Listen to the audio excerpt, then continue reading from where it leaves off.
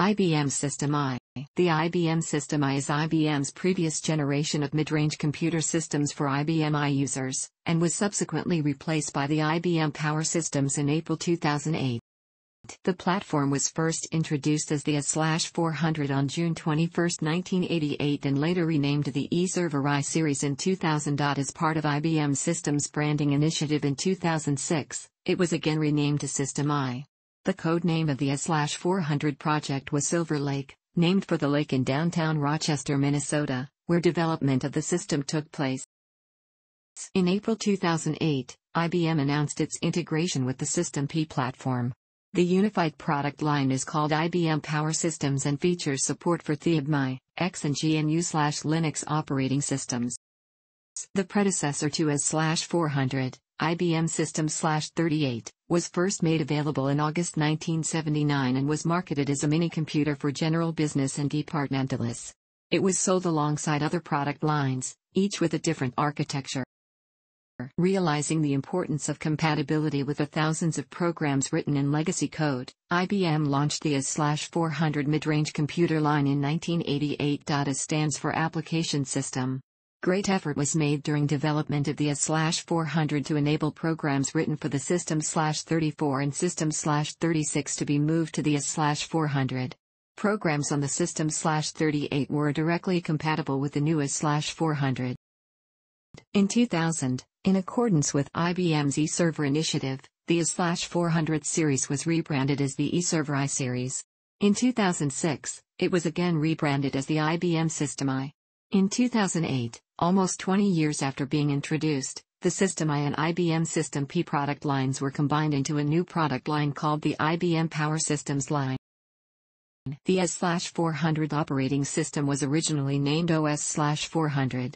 The operating system has undergone name changes along with the rebranding of IBM's server lineup. The operating system was rebranded as i5 OS to correspond with the introduction of Power 5 processors and the rebranding of the hardware to eServer I series. For the 6.1 release, the operating system was again renamed IBM I. The operating system is object-based. Features include a RDBMS, a menu-driven interface, support for multiple users, block-oriented terminal support, and printers.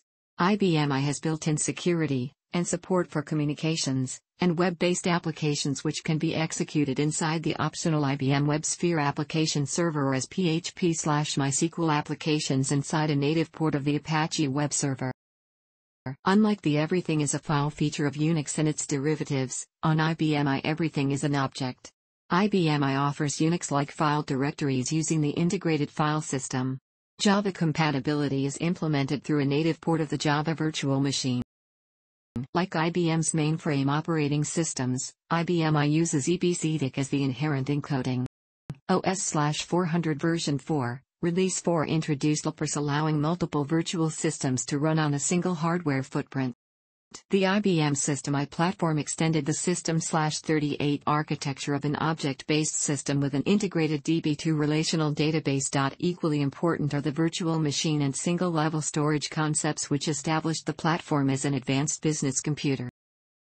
One feature that has contributed to the longevity of the IBM System I platform is its high-level instruction set which allows application programs to take advantage of advances in hardware and software without recompilation. TIMI is a virtual instruction set independent of the underlying machine instruction set of the CPU. User mode programs contain both TIMI instructions and the machine instructions of the CPU, thus ensuring hardware independence. This is conceptually somewhat similar to the virtual machine architecture of programming environments such as Smalltalk, Java and .NET. The key difference is that it is embedded so deeply into the AS/400's design as to make applications effectively binary compatible across different processor families.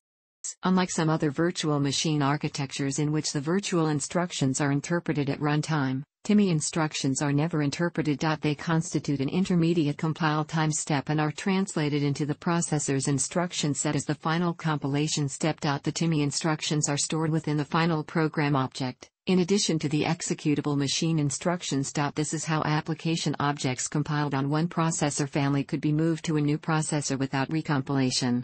An application saved from the older 48-bit platform can simply be restored onto the new 64-bit platform where the operating system discards the old machine instructions and retranslates the TIMI instructions into 64-bit instructions for the new processor.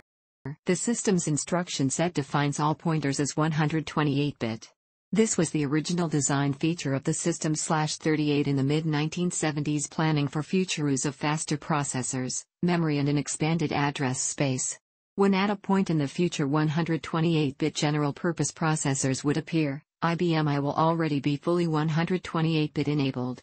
The original AS/400 CISC models used the same 48-bit address space as the S/38. The address space was expanded in 1995 when if the RISC Power PC RS64 64-bit CPU processor replaced the 48-bit CISC processor.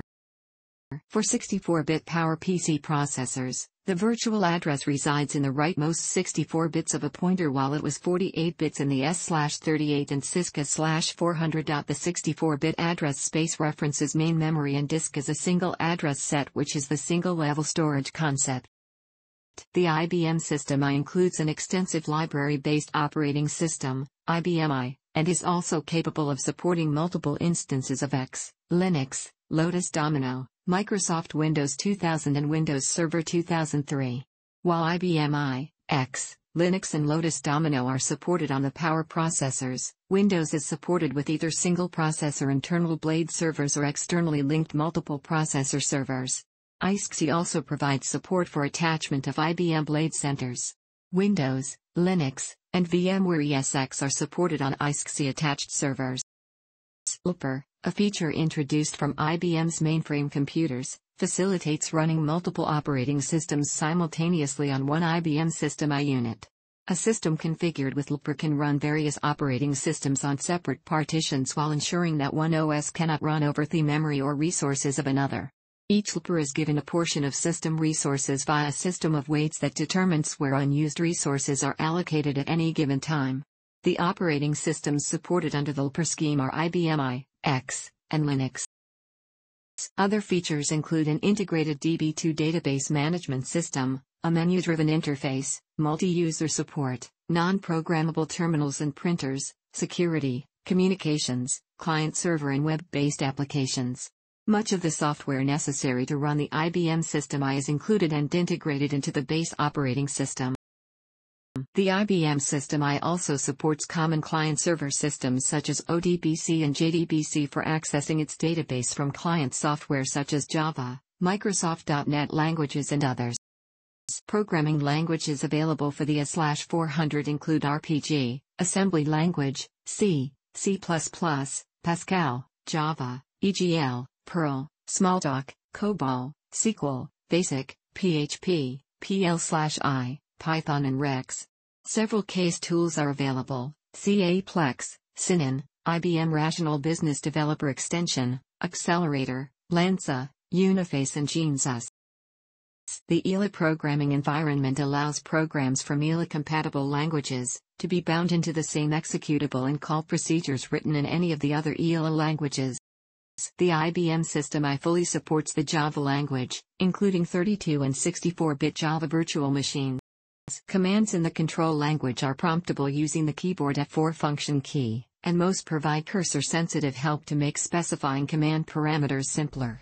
All command names and parameter keywords are based upon uniform standardized and mostly three-letter abbreviations for verbs and subjects, making for easy rendering and interpretation by the application developer, as opposed to other operating systems with often cryptic or inconsistent command names for related functions or command parameter switches.